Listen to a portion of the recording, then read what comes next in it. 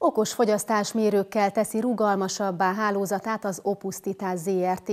Egy több mint két milliárd forintos pályázat keretében csak nem 36 ezer készüléket telepítettek az elmúlt évek során a cég szakemberei.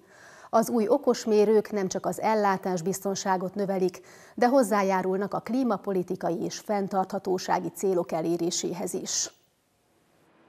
Az Opus Titas ZRT több mint 780 ezer ügyfelet szolgál ki villamos energiával.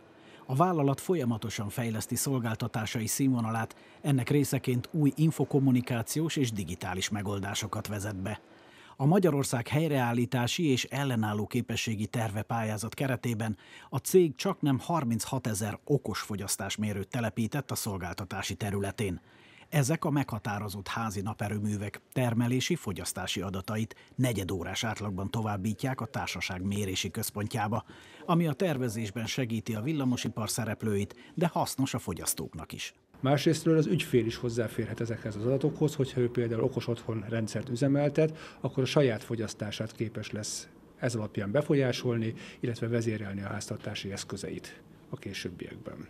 A kétirányú mérésre és kommunikációra képes okos fogyasztásmérők az általuk szolgáltatott adatokkal növelik a villamosenergia rendszer szabályozhatóságát, rugalmasságát.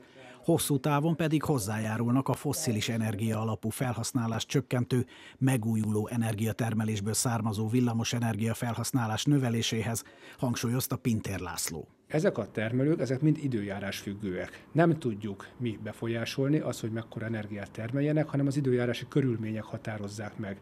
És ahhoz, hogy biztosítsuk a villamosenergia rendszer stabilitását, hiszen a megtermelt és az elfogyasztott villamosenergiának minden pillanatban meg kell egyezni, ehhez szükséges az, hogy minél több információval, adattal rendelkezzünk. Ez azért fontos, hogy a szakemberek folyamatosan lássák a teljes rendszer állapotát.